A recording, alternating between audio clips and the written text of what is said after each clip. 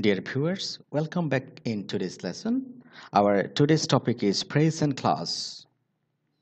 Present clauses are two important terms in English grammar. They are parts of a sentence. Okay, now look at the example here. Here we have a sentence. In the sentence, we have two parts. He is playing in the field. The first part is he is playing and the second part is in the field. Okay. Uh, the first part in the first part uh, we can see that we have a subject. Okay? He. And we have verb. But in the second part there is no subject and no verb. So can you uh, tell me what are these two parts called? Okay. I'm giving you a hint. The first part is called clause and the second part is called phrase why? Why the first part is called clause and why the second part is called phrase can you guess? Okay actually uh, in the first part we have both subject and verb. But in the second part, we have no subject, no verb. So, if there is in a clause, we have a subject and a verb, and in a phrase, we have no subject and no verb.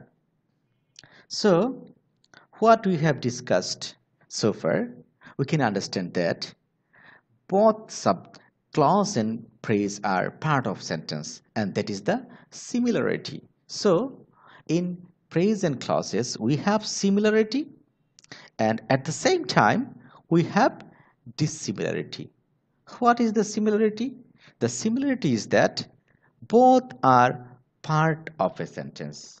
Phrase and clause both are part of a sentence.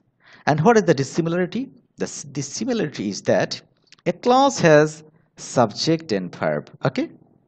But a phrase has no subject and no verb.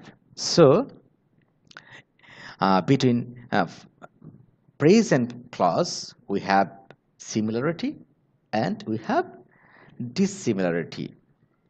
Now let us come to the definition of phrase. so def the definition would be like that a phrase is a part of a sentence okay it is a part of a sentence having no subject and no verb okay let us know the types of phrases. okay there are different types of phrases main five kinds of phrases are noun phrase verb phrase, adjective phrase, adverb phrase, and prepositional phrase. There are some other types of uh, phrases also. Okay, they are gerund phrase, infinitive phrase, appositive phrase, and participial phrase. But our today's topic is uh, on and clause. just to identify what is phrase and what is clause. So in our next lesson, we will discuss these phrases, student phrase, infinitive phrase, appositive phrase, participial phrase, etc. Okay, now let us come to clause Okay, uh, a little bit ago, we uh, came to know that a clause has a subject and a verb. There are two types of clauses. One is principal or independent clause and another is subordinate or dependent clause. Okay. Identifying clause. Okay, now please you look at the sentence here. When the man broke into the house, the dog barked at him. It's a sentence. In this sentence, we have two part. Okay, when the man broke into the house this is one part and the dog barked at him that is another part in both these part we have subject and verb in the first part the man is the subject and broke is the verb in the second part the dog is the subject and barked is the verb so both these parts are called clauses. Now as we know earlier that clauses are of two types. One is principal clause and another is subordinate clause. Okay. Now this is a clause that is also a clause. This part cannot express its meaning cannot stand alone. When the man broke into the house if you say when the man broke into the house actually it cannot express the whole meaning it cannot stand alone so this is called subordinate clause. On the other hand, the dog barked at him. This clause can easily express the meaning.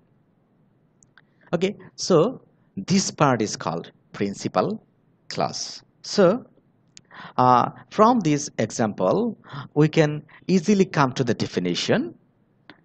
The definition of principal clause is that it can stand alone. Okay, it can stand alone. They do have a subject and verb and express a complete thought. That means principal clause uh, can express its meaning. On the other hand, in subordinate clause, actually it cannot stand alone. They do have subject and verb, but they do not express a complete thought. But they cannot express their thought. So what is the difference between principal and subordinate clause? The difference is that one can stand alone, another cannot stand alone. One can express a complete thought and another cannot express a complete thought. Now, let us judge yourself. Okay, now I have given you some examples here of sentences, uh, sorry, uh, of uh, phrases or clauses now you have to identify whether this one is phrase or clause. Phrase or clause. Okay, now please you just pause the video for uh, a minute or two minutes and then you judge yourself.